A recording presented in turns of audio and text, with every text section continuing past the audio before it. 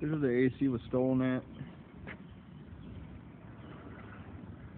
We got 30 deep, 36 wide, 36 tall.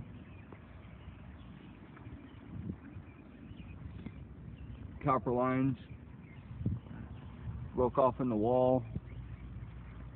Disconnect.